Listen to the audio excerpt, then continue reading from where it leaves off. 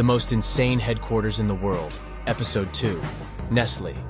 The headquarters is located in Vevey, Switzerland, on the shores of Lake Geneva, with one of the most beautiful views of the French Alps.